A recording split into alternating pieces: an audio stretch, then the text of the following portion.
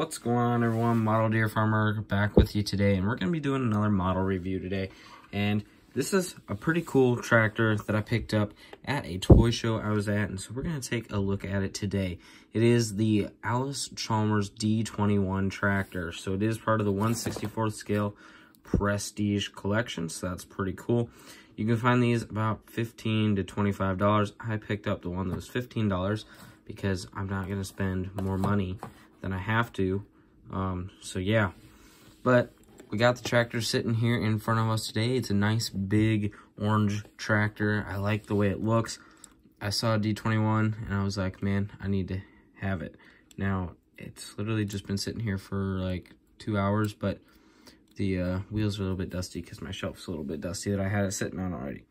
But here is the Allis-Chalmers D21 tractor uh, made by Ertl. So it's a really good looking tractor.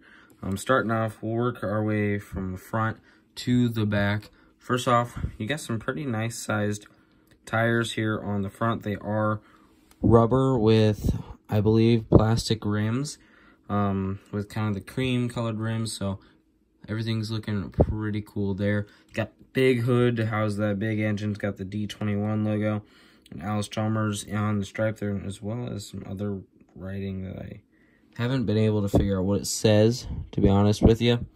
Um, maybe someone else knows, though. You got a little detail here on the top of the hood. I'm guessing that's where you fill your fuel tank up. Um, and then we also have the very tall chrome exhaust pipe on here as well on this really big hood. Now looking on the side of the hood, you got lots of engine detail on there as well, so everything's looking good through there. At the front, you got the Allis Chalmers logo up there. There is a tiny little paint chip right up there that it came with, so that's not too cool, but it is what it is, I guess. Um, but we got our silver grill on the front of the tractor here. The uh, front axle does go back and forth, so everything's looking pretty good. Moving over to the other side of the body here, I think it is a different, it is a different design in the engine from the other side, so everything's looking pretty cool there. It's a nice looking tractor big farm tractor, big beefy farm tractor here.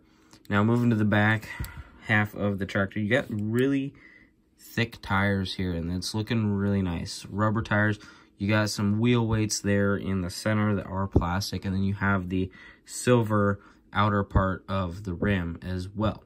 Now I do have um, casted fenders here with the little sticker, or not sticker lights, but painted on lights on there too. So most of the body of this tractor is all die-cast metal, so it makes it pretty heavy machine. You got a little bit of step up there into the operator station, which isn't too detailed, but you do get the steering column and steering wheel on there, as well as your seat. So not too much detail through there, but you got to keep in mind this is a pretty small tractor, so not much they can do as far as detail on there. Now, Coming into the back here, I assume that that's probably like a flasher or something. And then you got, um, I don't really know what's back here. Maybe a hydraulic tank or something.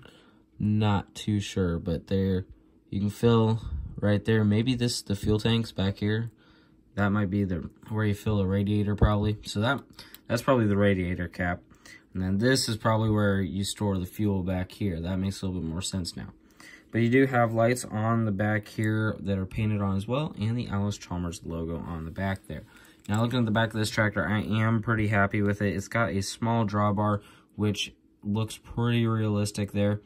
Um, so that's pretty cool. And then we also have three-point hitch arms here as well. So got lots of range on those things. They literally will go farther down and lift the wheels off the ground if you uh, want them to go that far down. And then you got your third link there as well. So very nice looking three-point hitch system here on the Allis Chalmers D21. The most well-moving three-point hitch, I'd have to say, on any piece of Ertl equipment that I've got. This uh, this is a fairly new product, so I think that it is well put together. Ertl's getting the three-point hitch stuff figured out. Like I said, the top link does move, so you got that in there as well. Looking at the bottom of the tractor, this one is made in China, but you got lots of nice detail for the bottom of this big, beefy tractor here. You can see the inside of the back rims are silver. Everything's looking pretty good throughout there. I like this tractor. It was a it was a good find at the toy show today. I kind of been wanting an Allis Chalmers for a while, but I do it was I was get I was wanting like the 70 80 or 80 70 whichever one it was. Um, but the D21 caught my eye, and I thought, man, I gotta have one of these. So, the box is pretty cool, too, with the Prestige Collection logo. Um, original price has that on here, $5,700. Wheelbase, 96 inches. Manufactured in West Allis, Wisconsin. It's got 103 PTO horsepower, and it was produced from the years 1963 to 1969. I think it's got the same stuff over there, just in a different language. Um, and it's got some good old pictures on the back of the box there. So, pretty nice tractor. I'm glad I picked it up. If you are an Allis Chalmers fan or just love D21s in general and think they look pretty cool, you should go ahead, check this out. I don't, I, I feel like this was like a um, Ertl Collector Club only item, possibly. But I found it at a toy show today and a whole bunch of Allis-Chalmers stuff. There's getting to be a lot of it out there, so I'm liking it. Um, but if you want one of these, I picked this one up for $15. You can find them anywhere 15 to $25. Um, you can probably find them on all your third third-party sites online as well. Um, and I think, I'm pretty sure that they are available on the Ertl Collectors Club. So go check them out there if you want to, too. Um, but I hope you guys enjoyed the video, and I hope you guys enjoyed taking a look at the Allis Chalmers D21. I think it's a pretty sweet looking tractor, so if you enjoyed the video, give it a like, and also consider subscribing to the channel. If you have any comments or questions, you can leave those down in the comment section below. I hope you guys have a very great rest of your day, and I will see you all in the next one. Thanks for watching.